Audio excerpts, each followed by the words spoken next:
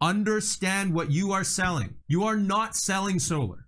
Solar just happens to be the product, the solution for the problem that people have right now. Potato industry. We could be selling potatoes right now, ladies and gentlemen, but we're not.